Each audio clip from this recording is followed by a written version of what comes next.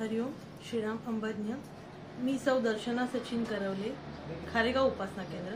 मी सन एकोणीसशे अठ्ठ्याण्णवपासून बापू परिवारात आहे. आज मी तुम्हाला आपल्या बापूंचा अकारण कारुण्य म्हणजे काय? हा जो अनुभव आहे तो तुम्हाला सांगण्याचा प्रयत्न करते. सहा मार्च दोन हजार वीसला मी गाय बाईकवरनं पडले कळवा नाक्यावर. आणि पाठीवर पडले आणि एक पाय मात्र माझा गाडीतच अडकला होता. लोकांनी बा बाकूच्या लोकांनी प्रसंगावधान साधून मला तिकडनं उचललं सिग्नल चालू झाला होता. घरी आल्यानंतर पाहिलं तर पाठीला बऱ्यापैकी मुक्का मार लागला होता पण पाय मात्र थोडासाच दुखत होता. दोन तीन महिन्यानंतर जाणवलं की पाय माझा बराच दुखतोय स्वयंपाक करताना उभंही राहता येत नाहीये. घरातल्या घरात चालताना पण तीव्र वेदना होत आहेत पायामध्ये. आम्ही ठाण्यातील एका नामाविन नामांकित अस्थिरोग तज्ज्ञांकडे गेलो. त्यांच्याकडे दोन ते तीन महिने औषधं घेतली. वेदनाशामक गोळ्या घेतल्या की तेवढ्यापुरतं ते दुखणं थांबत असे आणि परत मात्र दुखणं चालू होत असे घरातल्या घरात बसून मी अक्षरशः बेडरूममध्ये रडत असे की बापू मला घरातल्या घरात पण चालता येत नाहीये. आणि त्यांच्या औषधांनी पण मला गुण येईना म्हणून त्यांनी त्यांचे वरिष्ठ डॉक्टर डॉक्टर परिमल यांच्याकडे चेंबूरला जाण्याचा सल्ला दिला. आम्ही त्यांच्याकडे गेलो. त्यांनी त्यांच्याकडे काही एक्सरेज माझे काढले आणि एक्सरे काढल्यानंतर सांगितलं की तुमचा पाय गुडघ्यामध्ये थोडा वाकलाय बाक आलाय त्याला. आणि तुमच्या पायाची जी वाटी आहे गुडघ्याची ती पण घासली जाते. तर तुम्हाला ऑपरेशन करण्याची नितांत गरज आहे. तुम्हाला एक्सटर्नल फिक्सेटर लावावं लागेल.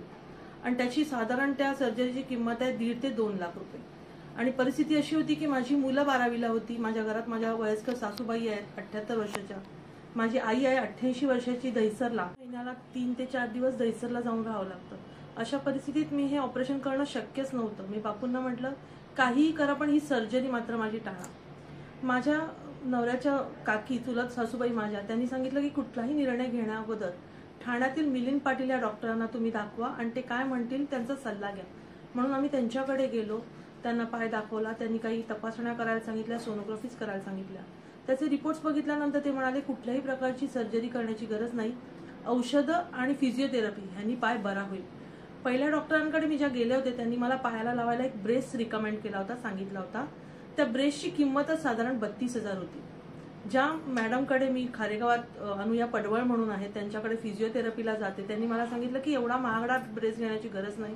मी दुसऱ्या कंपनीचा एक ब्रेस लिहून देते. त्याची किंमत होती साधारण फक्त बाराशे रुपये. तोही मला साडे नऊशे रुपयात मिळाला. इथे पण बापूंनी आपलं अकारण कारुण्य मला दाखवलं तिथे पण माझे पैसे बापूंनी वाचवले. असं करता करता हळूहळू पायात बऱ्यापैकी सुधारणा होऊ लागली आणि आज मी पायाला ब्रेस न लावता सुद्धा मी चालू शकते खाली उतरू शकते. आज आपले जे काही शारीरिक भोग आहेत किंवा आपल्यावर येणाऱ्या ज्या अडचणी आहेत हे सगळे आपल्या प्रारब्धाचे भोग आहेत ते आपल्याला भोगायलाच पाहिजे पण त्याची तीव्रता बापू कृपेने कमी होते. बापूंनी मी आपल्याला सांगितलं की मी तुला कधीच टाकणार नाही. आणि ह्याची पावलं पा- पावली ग्वाही आपल्याला बापू देत देत राहतात हेच माझ्या या अनुभवावरनं तुम्हाला समजेल. हरिओम श्रीराम.